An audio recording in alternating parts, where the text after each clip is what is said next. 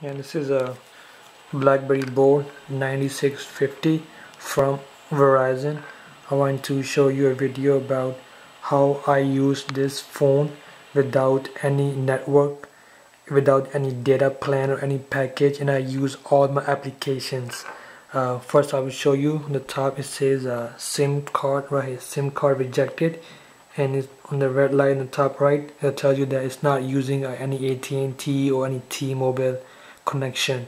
And this is a deactivated phone as well. And I will just make a random phone call so you can hear that it's not using uh, a Verizon network.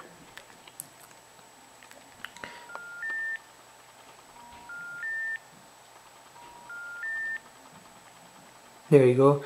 I just dialed a number and it says only emergency calls.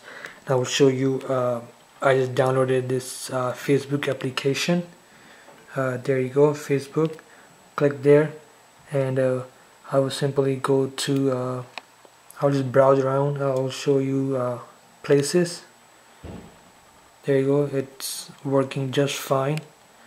Uh, also I will uh, open up a few pictures so you'll know that it's uh, see fetching photos? So it's up right there. And I can browse through photos using a simple Wi-Fi connection and also I downloaded a Google Voice as well. I mean a Google search voice. There you go. And uh, I will show you make you a demo watch. McDonald's. There you go. It works just fine. Another application I have uh, it's uh, Pandora I don't know why it gives me this data usage warning when I'm not even using data.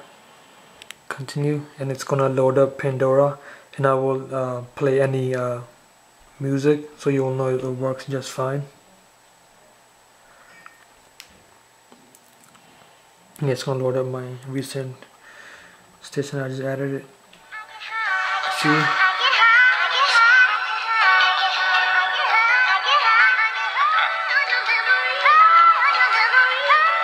there you go so it works and loads up fine.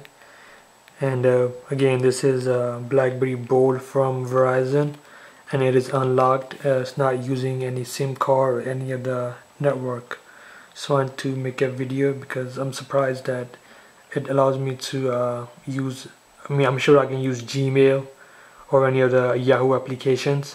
I just gotta download it through App World and use it